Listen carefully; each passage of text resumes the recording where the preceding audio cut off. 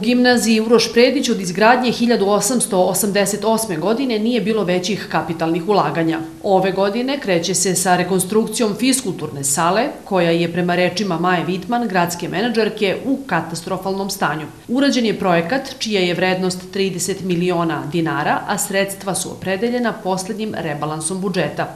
Tema ovih radova će nam na prvom mestu biti e, kompletna rekonstrukcija e, postojećeg krova sa e, izradom termoizolacije.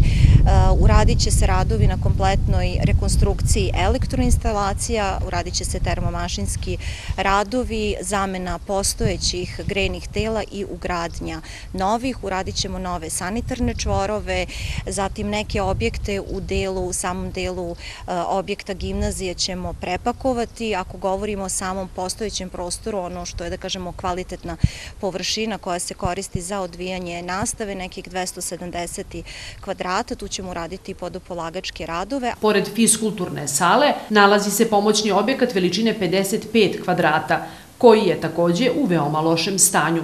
On će, kako kaže Maja Vitman, biti srušen i izgrađen nov u istoj veličini. Pošto je objekat spomenik kulture kao i cela gimnazija, dobijeni su posebni uslovi za njegovu ponovnu izgradnju, kao i za fasadnu stolariju.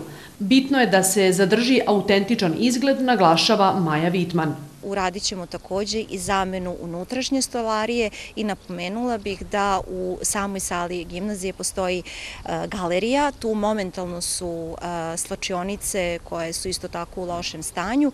Mi ćemo taj gornji prostor od 30 kvadrata dodatno urediti i e, dati na upotrebi upravi škole koja će odlučiti da li će možda tu sprovoditi neke aktivnosti. Mi smo eto, prosto predložili direktorki da to možda bude stoni ni tenis ili nešto tome slično. U svakom slučaju škola će svakako odlučiti šta će sa tim dodatnim da, da uradi. Direktorka gimnazije Uroš Predić, Zorica Pomar, rekla je da će im rekonstrukcija fiskulturne sale i tekako značiti.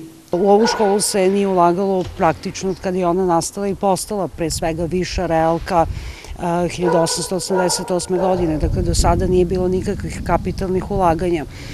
Sa ovim ulaganjem, pre svega rekonstrukcijom fiskulturne sale, konačno ćemo dobiti salu koja odgovara savremenom obrazovanju i nastavi, fizi, nastavi fizičko. Ja ću iskoristiti priliku da se zahvalim gradu, gradu što je prepoznao problem i što je prepoznao situaciju u kojoj se nalazi gimnazija i što svesredno pomaže da dođemo konačno posle E, nepunih 160 godina do rešenja e, e, rešenja prostora same gimnazije. U samom objektu fiskulturne sale biće i kabinet profesora. Takođe, rekonstrukcijom su predviđeni i sistemi ventilacije, klimatizacije, kao i sistem automatske detekcije i dojave požara. Kako kaže Maja Vitman, sa radovima bi trebalo da se krene juna kako bi bili završeni do početka školske godine.